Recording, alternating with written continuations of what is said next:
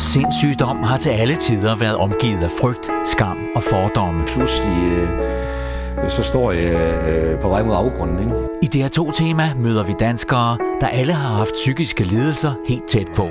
Alt væltede. Altså, jeg blev voldelig. Jeg var ved at smadre hele huset.